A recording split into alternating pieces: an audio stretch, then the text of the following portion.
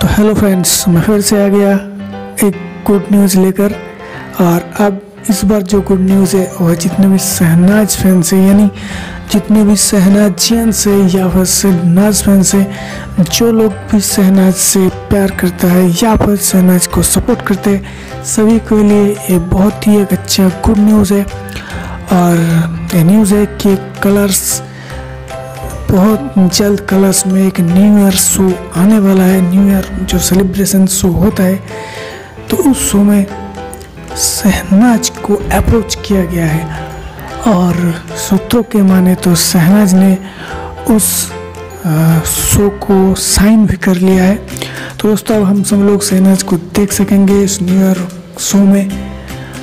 Dance करते हुए नाचते हुए, गाते हुए।